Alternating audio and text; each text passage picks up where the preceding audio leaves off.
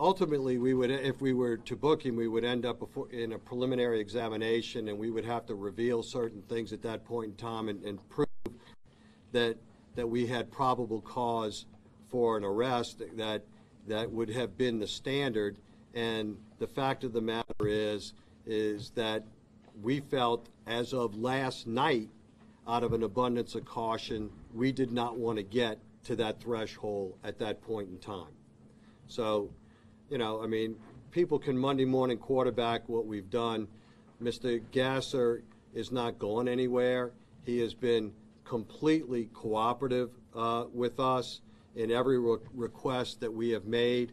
Um, you know, so that's not the issue.